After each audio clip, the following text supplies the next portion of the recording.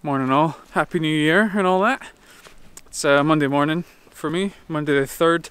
So it's the, the first day back after the the kind of Christmas break. So, you know, slow start getting back into it, but uh, yeah, not exactly sure what the plan is for today even. I've just got I've got some new leather to look at. Um, the shop's kind of been closed, I haven't been taking orders, so yeah, I need to get everything back up and running. Let's see how it goes. Okay, the plan for today, I've decided, is to check out some of the leather that I bought. I made a video, one of these Vlogmas videos I made.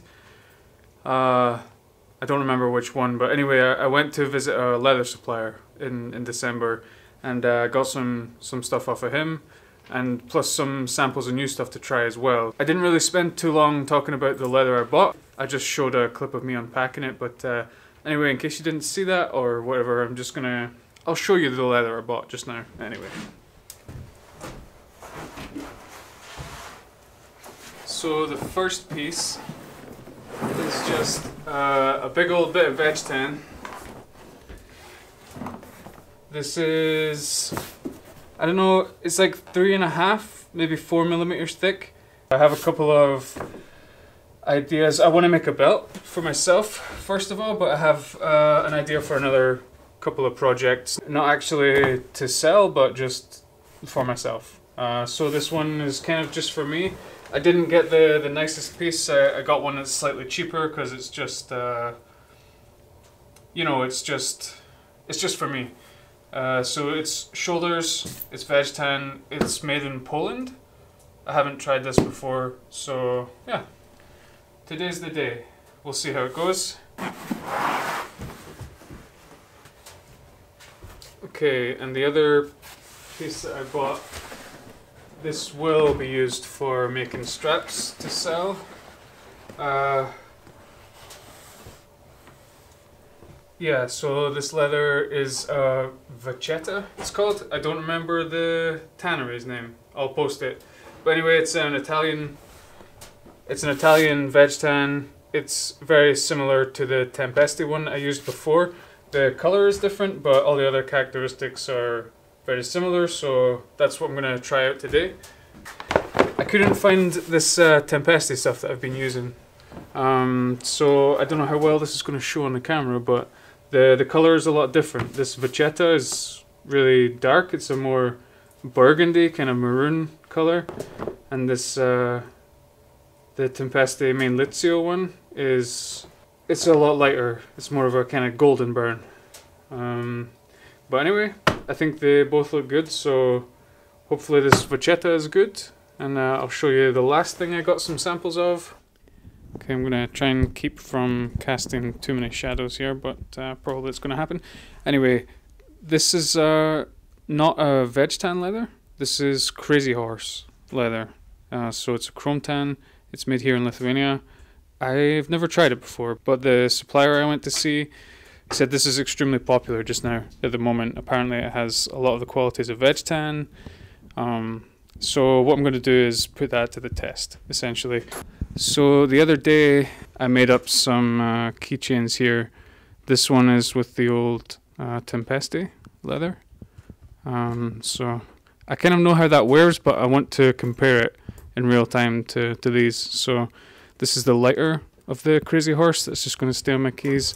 And I have this old keychain on one of my sets of keys here. So this one is an old veg tan that I used. It's uh, maybe five or six years old, something like that. It's been used and worn down quite a lot. It would still be fine, to be honest, but I'm going to try replacing it with one of these Crazy Horse leathers. Uh, maybe this darker one. And I just want to test them out, see how they wear over time. I doubt I'll ever use these for my main straps. I really like veg tan, but I don't know, it's useful to have this. This stuff's super cheap. Um, I think the veg tan I bought, the Vachetta one, is like 70 euros per square meter, something in that range. And this one is 23 euros per square meter. So it gives you an idea of the difference in price. So I don't know, maybe for some projects it would be useful. Having to do this on my phone because I forgot my tripod. So I don't know how good or bad this is going to look, but Yeah.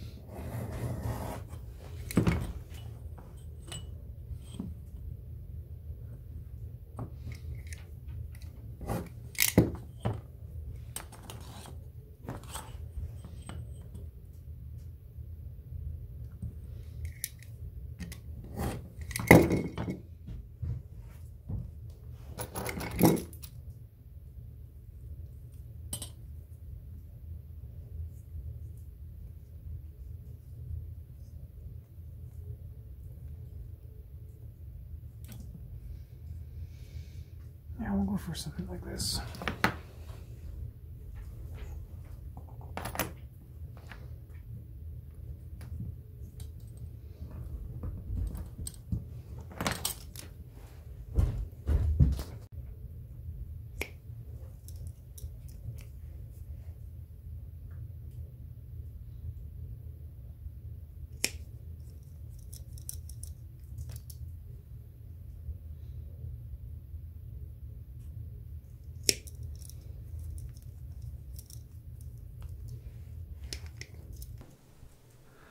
A little bit creepy outside the workshop today. This is my view out of the workshop.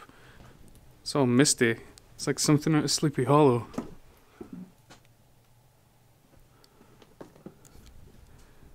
There's something lurking in the long grass.